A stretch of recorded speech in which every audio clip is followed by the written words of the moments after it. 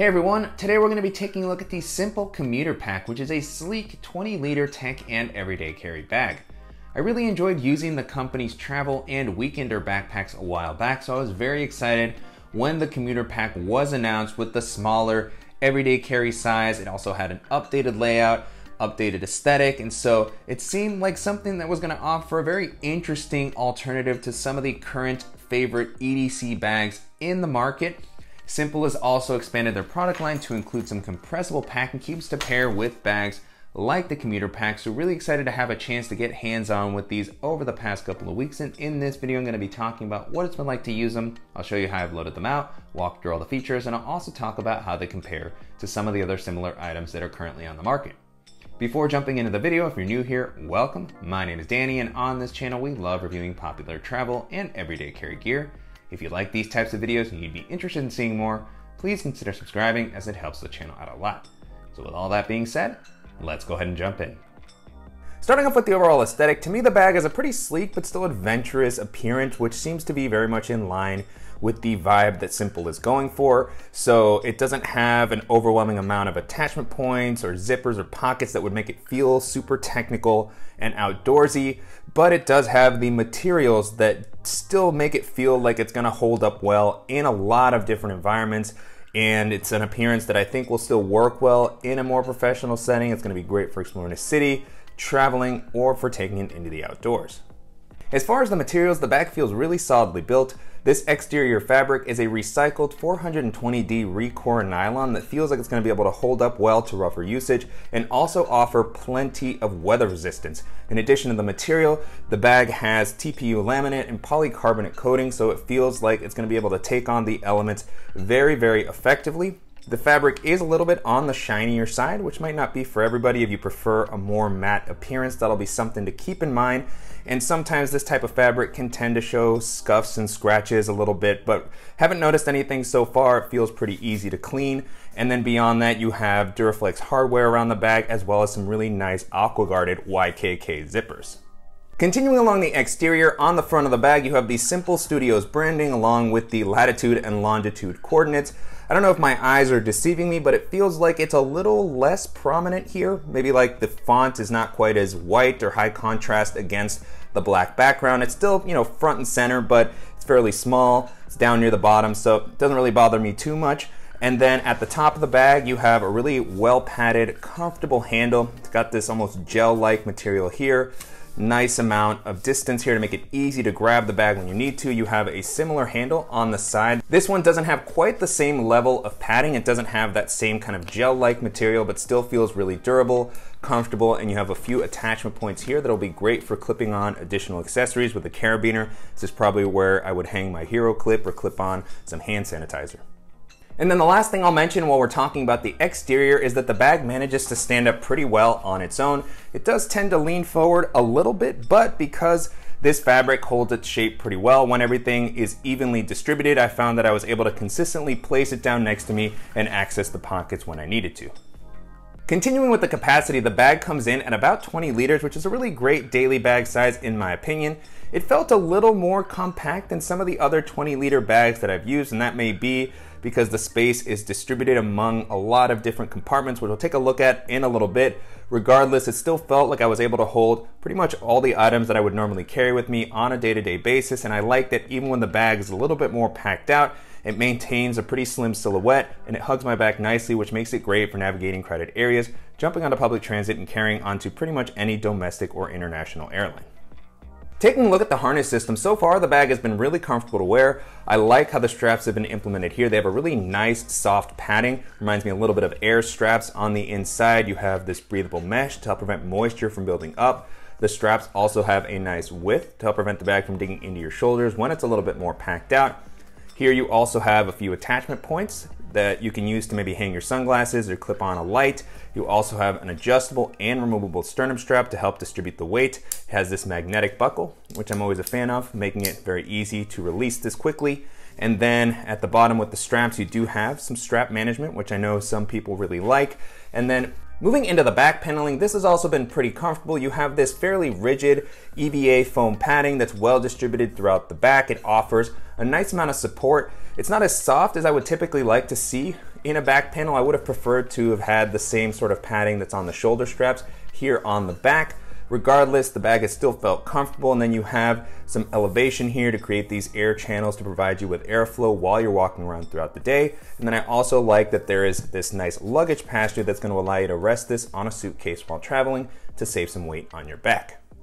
Jumping into the organizational options, the bag has a nice variety of pockets all throughout. Starting off on the front, you have a really great quick access pocket with a vertical zipper. So this is gonna be the type of pocket that you can swing the bag around and reach in and grab something without having to take it all the way off.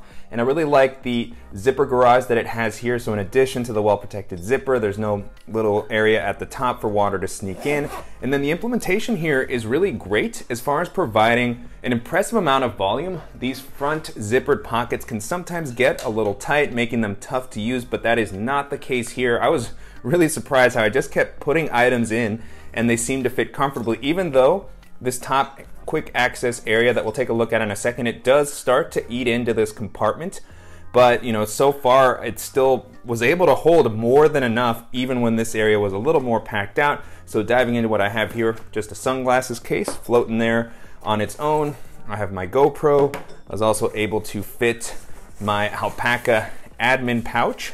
And then I have USB-C hub that I like to carry with me charge my laptop my tablet and all my devices. And then a cool thing in this area is there's also a few slip pockets on the back wall that are oriented to allow you to easily grab the items that are stored in there. So this is an excellent touch because sometimes these compartments that are a little bit taller, everything just slides down toward the bottom. And so I'm always a fan of having just a couple of simple slip pockets like these to be able to reach some of the items that you're gonna be accessing regularly. This one here on the bottom is slightly bigger and I was able to store my Ghostwell pouch Great spot though for cables, maybe your phone. And then I have the cable and the other one that goes with the USB-C hub just to, you know, store a few items in there. It's this elastic, nice material. And then if you don't want to use them, they just stay out of the way. On top of that, you have another zippered pocket that has a lot of built-in organization. This is what they call their caddy and it's pretty much a built-in tech pouch. And I think some people are really gonna like this or really not like it depending on your organizational preferences. I think that it's a really interesting idea. I, of course, am someone who packs with a lot of pouches. And so a lot of these types of items would normally be in pouches. This has a little bit more of an opinion on how you can potentially organize your stuff. And I think that it's well done here, particularly if you don't want to have an extra pouch. It's really cool that this offers a lot of useful organization. So starting off on the back here, you have this soft lined area that also has some padding. This sleeve here is a little bit thicker than your standard slip pocket. It's also got this magnet that closes down to secure it. At the moment, I just have my magic mouse in here, but this definitely feels like something that is meant to hold your phone maybe, or you could even slide in a smaller tablet, although that might get impeded with the magnet, but still just a really nice soft lining here. And then you have another large section that is divided with this zippered pocket. And this isn't fixed to the bottom, so it can kind of slide to accommodate you know whatever you want to store if you want to have a little bit more space on this side if you want to have a little bit more space on this side. So pretty cool idea there. So a couple of slip pockets here that have this nice elastic material perfect for something like AirPods. I also have a retractable USB-C cable here because wires are tough and definitely love solutions like this to help manage that. So good, you know, kind of pocketing here. You have the zipper pocket in the middle, great for something like this, which are an extra pair of wired headphones. Not retractable, unfortunately, but this will help kind of tame the chaos. Great for other small items that you don't want getting lost. Then you have a section here that could be for something larger, a laptop charger, something like that. Then you have a couple of larger slip pockets on the front. I love that these have this really great feeling mesh to give you some flexibility with what you can store. I have here USB-C cable for my phone and my tablet. And then on the other one, I have this really cool headlamp from Sandmark, which uh, I featured in a video pretty recently. Such a cool solution. You can take the headband off. It's magnetic, so you can check that out in the video. I'll link to it in the description below. And then the last thing you have here is a little place for your keychain. I have a carabiner attached to it. But one of the things I like about this is that you can actually detach it. It has a little magnetic fob. So you keep this in your pocket. It's not super bulky. And then if you want to put it into your bag, you can attach it. So I actually really like these solutions where it's something you can detach that I don't have to actually worry about taking something off the, the key ring itself. Um, so, you know, pretty cool idea there. And in general, you know, if you can adapt your, you know, items that you need to pack to this method of organization, this is gonna be a really effective layout, but it can take a little bit of time to get used to and it might not be for everybody. And then on one side of the bag, you have a taller zippered pocket that is meant to work as a water bottle area. So really nice zipper here. Again, zipper garage, great protection. I was able to squeeze in my 20 ounce water bottle. This is the one that I typically have with me, but it does take up space from the main area. So you'll have to keep that in mind as you're packing everything out. Still great that there is a dedicated water bottle area so that I could access this without having to open up the main area. And because it's zippered, you could also use it to store other items, which is great. That's why I like these zippered pockets. I could put in pouches, uh, an umbrella, and some of my chargers that don't fit on the inside. Then you have this material here, which is kind of like this meshy material. It's fairly elastic and again, it just pokes into the main area. So you'll have to keep that in mind if you wanna try to squeeze in a larger water bottle. But for me, 20 ounces was about as large as I felt comfortable putting in there.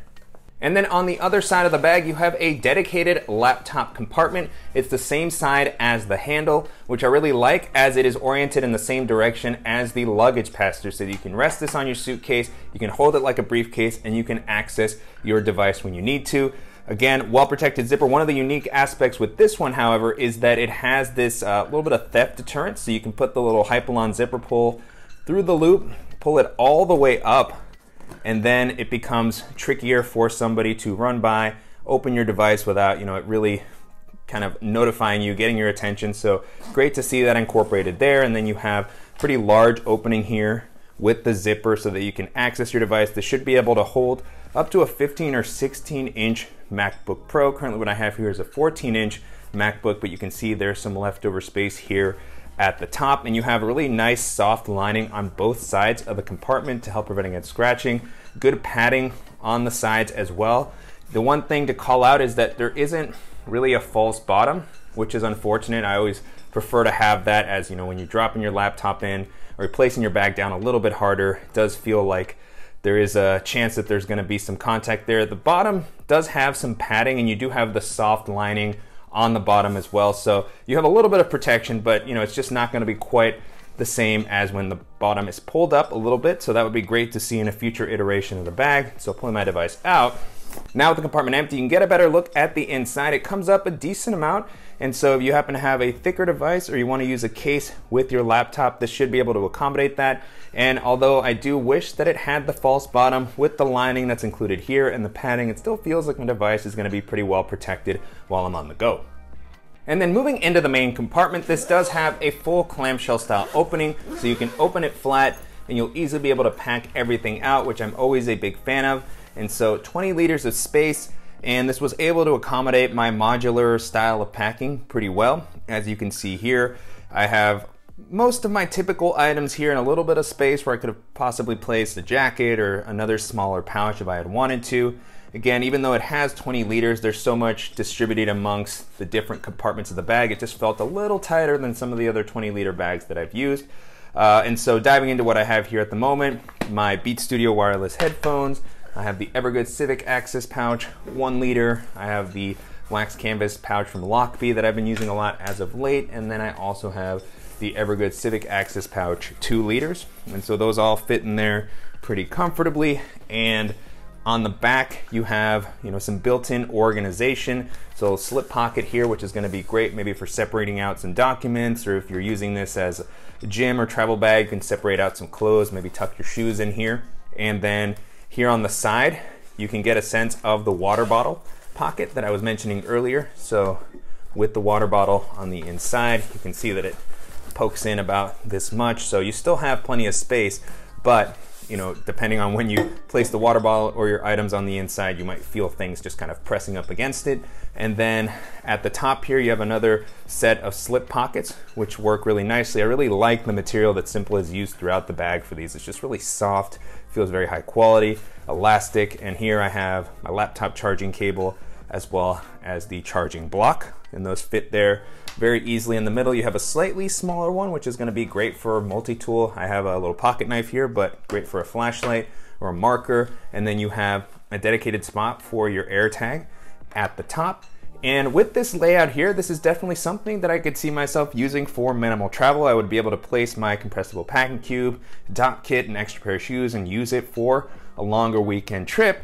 But one of the cool things is that Sympl has not only released the commuter backpack, but also an excellent set of compression packing cubes. And so in that footage, although I'm using my Peak Design cubes just so that you can kind of compare across bags, I was actually really impressed with the packing cubes that Sympl sent over for me to test out. So they have the two sizes here. On the exterior, they have a quick access pocket for anything else that you want to store along with your accessories. And then, you know, they have this really nice kind of ripstop fabric.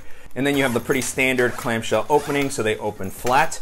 And one of the cool things about these is that they are compression cubes. So they have a zipper that will allow you to expand it out so that you can load these up with all of your clothes if you're gonna be traveling and then compress everything down tightly and you can tuck these into either the commuter backpack or Sympl travel bags. We've looked at those on the channel as well. Really awesome alternatives and these are gonna be some excellent accessories to pair with them. I'm a big fan of this style of packing cube. This style is what I would typically go to and so if you want something durable that's gonna compress and pair well with Sympl's ecosystem of bags. These will be excellent to check out. And then coming over to the other side of the main compartment, there's a little bit more organization on the lid. You have one kind of soft elastic compartment here. This will be the perfect spot for your phone if you want to store it. At the moment, I have another Magic Mouse in here just to kind of showcase the size. And because of this material that it offers, it just feels super nice. At the bottom, you have a zippered elastic compartment. I didn't really use this for anything because of all the pouches and items that I had on the bottom of the bag. I just didn't want things pressing up. And then there's also one additional zippered pocket here. Again, nice mesh. At the moment, the only thing I have here is a field notes notebook. It fit in there easily, but another great spot for tech items, smaller things that you don't want getting lost. And then one last note here at the top is that there is kind of a rigidity that can make it a little bit tough to pack if you have anything bulky at the top of the bag. This rigidity, I believe, is, you know, to kind of pair with this padded compartment here, which is nice. You have that protection, but sometimes when I would place my headphones or, you know, one of those bigger solid items here at the top, it could just feel tighter than I tend to like. So just something to keep in mind again with how you're packing, not necessarily a con, but in general, I really like the layout of this main compartment and, you know, just how everything is thought out throughout the rest of the bag. Really interesting design, very sleek look. And if you're looking for a bag that's gonna offer a ton of weather resistance, that's gonna be comfortable, and that's gonna keep all of your EDC accessories organized, and this is gonna be a really interesting option to take a look at. And so to wrap up, it's been a great experience testing out the Sympl Commuter Pack over the past couple of weeks. This is going to be available on the company site for around $220, so definitely an investment. It does, however, feel like you get a lot of value for that price point as far as the features and the build quality, and it's also going to compare well against some of the other similar bags in this price range. And so as I was testing this out, the first bag this made me think of is the Aer City Pack Pro, which has been one of my favorite tech and everyday carry bags of the past couple of years. It was recently released in Ultra Fabric, but it's also available in Ballistic Nylon, X-Pac. It's got a really sleek, modern aesthetic, very durable, super comfortable harness system. I'm always a big fan of the way that Aer does their harnesses. And then beyond that, it's just got a really functional layout, clamshell style opening, really good pocketing, excellent laptop protection. Like this one, it has a clamshell style opening. It's gonna be maybe slightly bigger than this. So if you want something that's gonna offer a similar sort of vibe and layout, but that's gonna give you some extra capacity and a little bit of a different harness system, then that's gonna be one of the best options to take a look at. Another bag this made me think of is the Bellroy Venture Ready Pack, which is a bag that I've come back to a lot over the past year. I really love the aesthetic of that bag. It's fairly minimal, but it still has kind of a rugged, adventurous vibe, which I really like. It's got an excellent functional layout, external water bottle pocket, some quick access pockets. I really like the top quick access area. Like this one, it has some built-in organization, but not quite as much. So the layout on that is just been really interesting to use. Got a comfortable harness system, a well padded and suspended laptop sleeve. That one doesn't have the dedicated laptop compartment like this one here, so depending on your preferences and what you're looking for, that could be a pro or a con. Regardless, it feels like your laptop is safe, even if it's not quite as easy to access.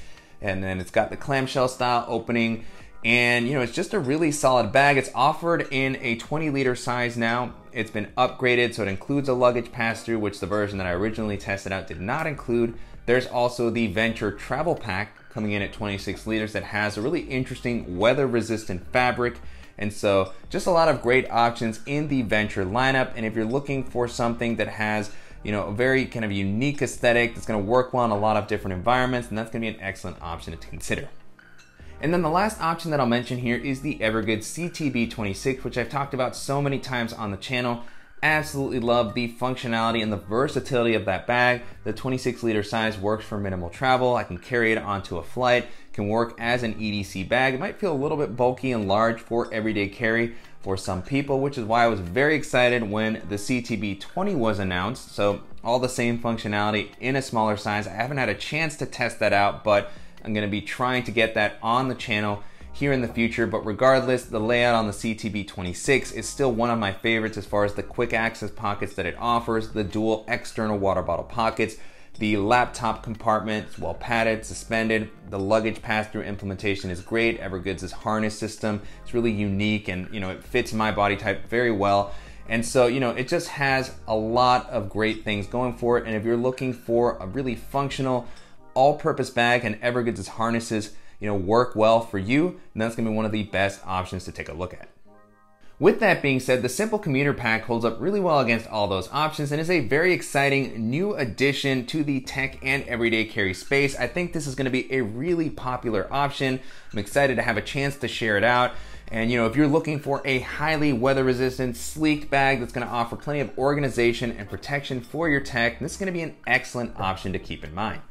And I'm curious to hear what you all think of the Sympl Commuter Pack and how it compares to some of the other popular EDC bags that are currently on the market. And if there's any similar bags that you think that I should check out, as always, please let me know in the comments. And I want to thank the company for sending the bag for me to test out and to you guys for watching and supporting the channel. If you enjoyed this video, please give us a like. And if you haven't already, make sure to subscribe so you don't miss any upcoming videos. And we'll see you in the next one.